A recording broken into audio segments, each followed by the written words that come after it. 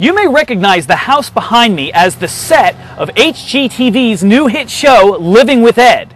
It's also the actual home of the star of Living with Ed, Ed Begley Jr. Ed has a new line of environmentally friendly cleaning products, and we're going to go talk to him right now. So tell me a little bit about the genesis of this idea. How did it come to be that now there's these Begley's Best cleaning products? Well, I went into a restaurant called Real Food Daily, and I met this guy, John Watt who said, "Oh, I've been looking for you for years. I've got something for you in the car." I thought he had a DVD wanted me to sign or something. He came back with a bottle, not like this, just a plain bottle with the spray in it. "It's a non-toxic cleaning product. It's really good, huh. and uh, you can help me market it. You're known for this environmental stuff. You've right. been driving electric cars since 1970. Your house is solar powered. You're the guy for this." What John didn't know is that I was looking for non-toxic products to launch this company, Begley's Best. I was going to do what Paul Newman did with Newman's Own, to have good products and then give a lot of money away to charity. I tried the product, it cleaned great. I sent it to an independent lab to check, it checked out non-toxic. So I started selling it, just one store to begin with, Lassen's Markets in Thousand Oaks. I got my friends at Whole Foods to try it in one store, and pretty soon I was in a number of stores, and now it's in well over a hundred stores. You're doing this yourself. This isn't just they put your picture on a label. This is your baby here. There's no employees. It's just me. I'm doing it all. That's why I can give so much to charity. There are different products here. One of them is a spot remover. That's this one here. That's this one That's that I clothing. started with. Yup, it's spots on clothing, spots on carpet, countertop tile. It's all-purpose cleaner too, but it's great as a spot remover, and I also sell it in a concentrate. Then I also have a wonderful all-purpose cleaner that does all kinds of other cleaning around the house. Okay. And uh, then I have a very specific glass and surface cleaner. It's also an antibacterial. It's got a little bit of um, alcohol in it and some coconut, and it works very, very well. It's a great glass. Sounds like it might taste good too, but I guess Yeah. you're not supposed to. Yeah.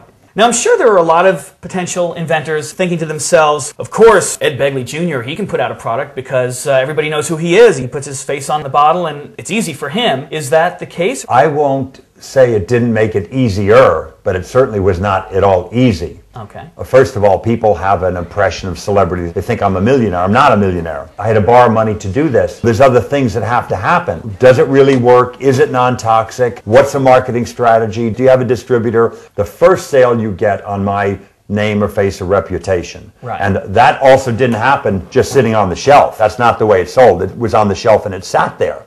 What is this? Is it a joke? They weren't sure of somebody. They were being punked. I had to go there and stand with a little table, a little like huckster table with bottles. The first bottle is because of the name or face or reputation. The second bottle is a good formula that's inside. And even the first sale probably isn't even so much because of your picture, it's because you're a guy who cares about the planet and you care about what you're doing. I think Right. probably any invention, there's probably no better salesman than yourself, at least to start out with, to go out and just tell people about what your product does. Right. If, if it works and you care about it, people will usually give you a shot. So, what do you say we go uh, spill some things? Let's spill some stuff. I'm going to spill some salsa on Ed's wood surface here.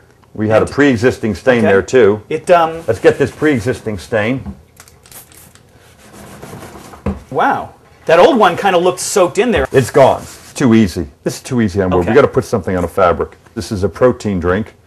Let's do some juice on the shirt. Oh, I'm a slob. First thing I'm going to do, you would wipe it off like this, but you still have a stain. Now, this is the spot cleaner that you This is a spot remover. Now, when this dries, there will be no stain there. There will be no juice. We can do it with the soy sauce. We can do it with the salsa. There was Stain a stain was there, right there. from the juice, all the different juice Yeah. substances. We can do it with the red too, so you can really see the red. You're crazy. Get some salsa. Oh, I'm a slob. Now, the first thing, of course, anybody would do, you get a napkin, you wipe the, the salsa Yeah. away, and, but now you got a stain. There's a stain there.